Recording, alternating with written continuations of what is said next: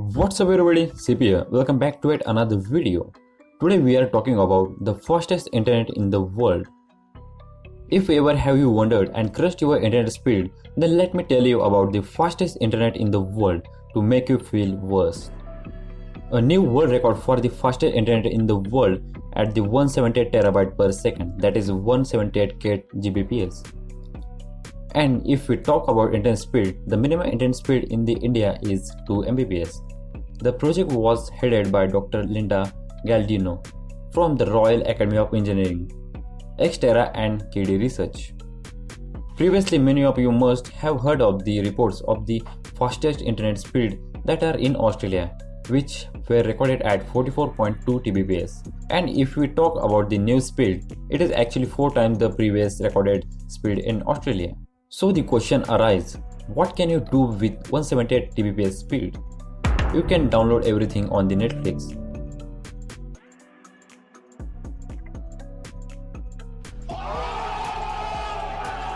And we mean literally everything in just one second. With 4K movies about 15 GB in size, you could download about 1500 of them in a single second at the new speed. You might be thinking, how was it achieved?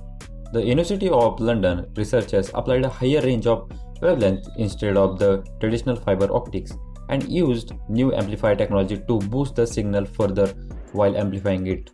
To tap the such insane speed, the current infrastructure uses a bandwidth of 4.5 THz for the internet we use.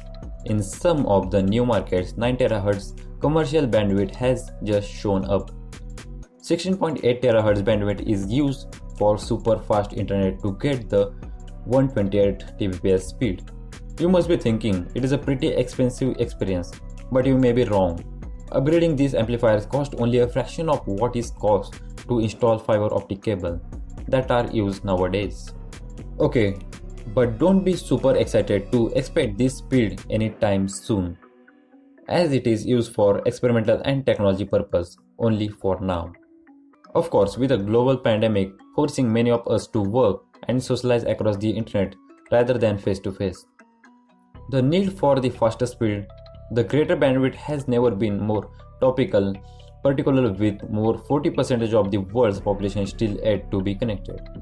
So that is all about the fastest internet in the world. Thank you so much for watching. Hit the like button if you like this video, smash the subscribe button if you aren't already, and and and I will see you guys in the next one.